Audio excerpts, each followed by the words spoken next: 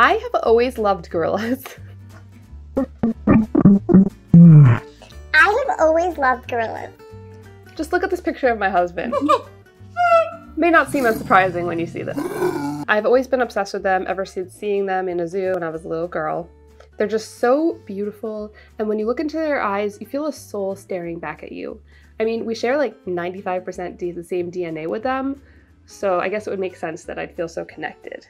In college and in my cake life, I've always wanted to draw or sculpt gorillas. I have this gorilla mug that I made in college in ceramics class, and the first ever gorilla cake that I made was in college for a sculpting class.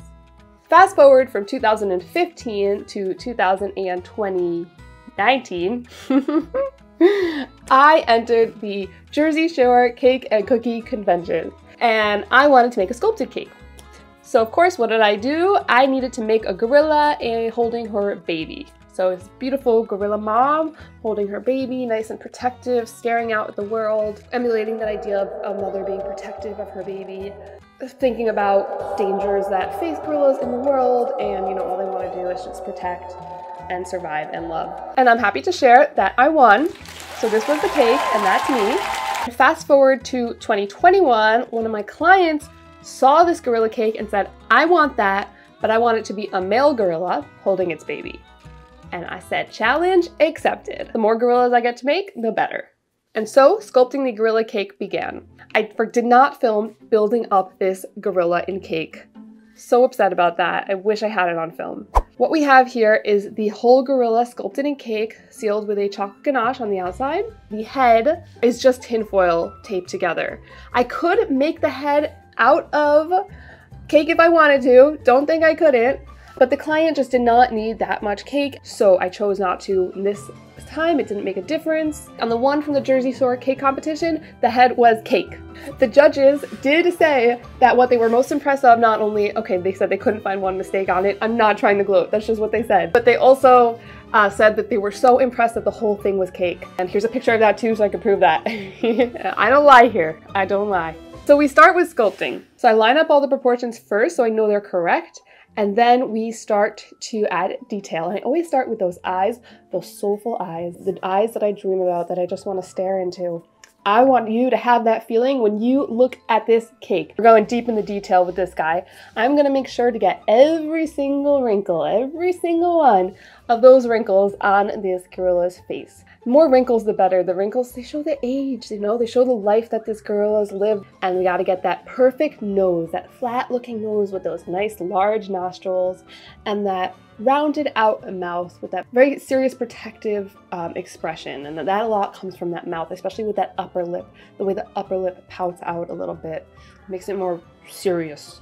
The face is, to me, the most important part of the whole piece, even though, you know, it's like not even a third, maybe not even a quarter of this whole sculpture, if I don't nail that expression, the whole piece sort of won't come together in the way that I want. I spend probably the most amount of time, like a cer certain amount of time on one thing, is spent on that face.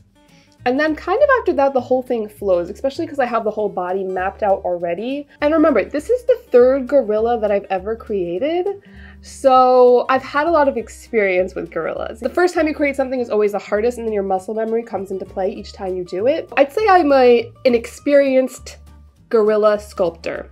If you can say that, I would, I would put that on my resume. I'm a very experienced gorilla sculptor. I'm sculpting the whole face and body out of modeling chocolate.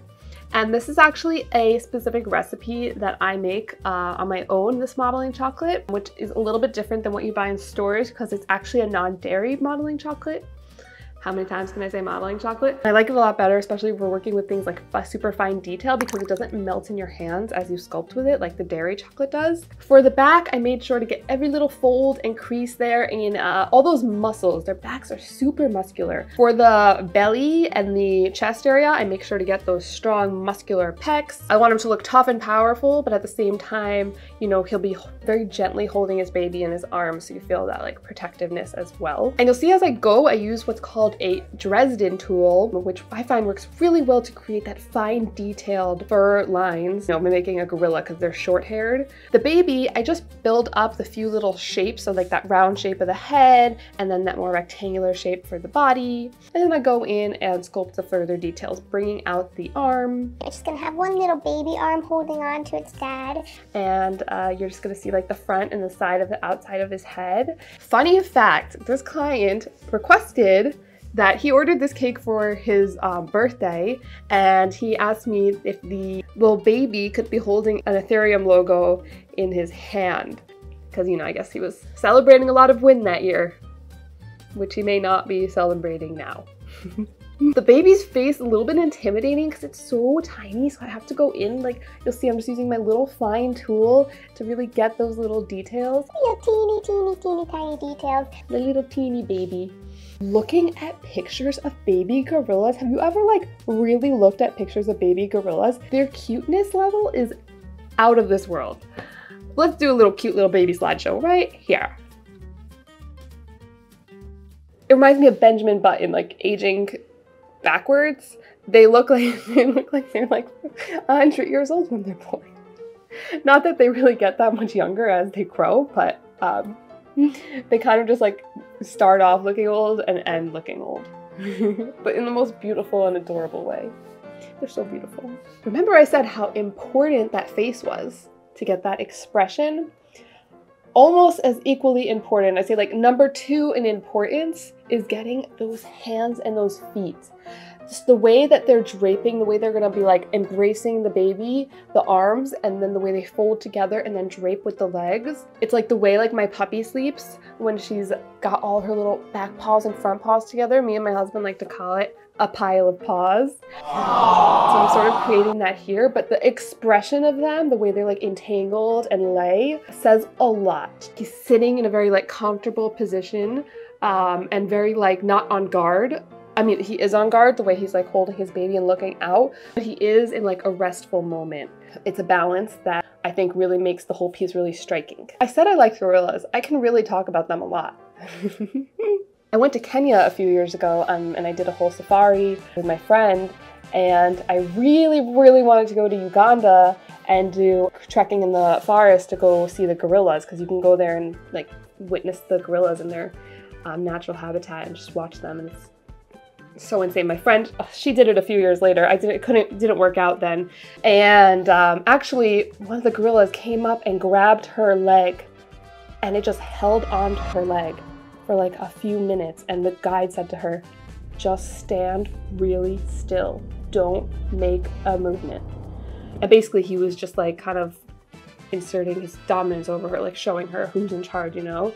And then she just stood there calmly, and then he let go of it. She said it was terrifying, but also amazing. I've made my way from the top of this gorilla with his face ending with those feet and arms, and now the whole gorilla is complete. I'm, I'm gonna admit I was super proud of, uh, of this gorilla. It was my favorite of all the gorillas I've created, and of course I think that was because, you know, I've had a lot of experience. I, like I said, that muscle memory kicks in, um, you kind of remember how to do things, it's not as challenging the third time around, and you can really focus in on more detail and bring out more that gorilla soul that I, that I really wanted to emulate. If you enjoyed watching this, please give it a like and do not forget to subscribe. There's going to be a lot, a lot more projects coming, including um, videos of sculpting, cakes, um, just regular art, food and art. I've got so many things planned. I'm so excited to share it all. If you'd like to join, follow along, please hit that subscribe button. If you'd like to see me paint the gorilla and bring it to life, check out my next video where we make all of that happen. And if you enjoy all of this content and want to see more, uh, more in-depth detail, you can join my Patreon where you will receive much longer extended videos where you can see the whole process of me sculpting. And we will also have live streams on there where we talk about projects, answer questions, and uh, make a cocktail with my husband, Gil. And there's just a whole community there that I'm building. You can vote on future projects, get access to courses, and even more. Um, so check that out as well, linked below.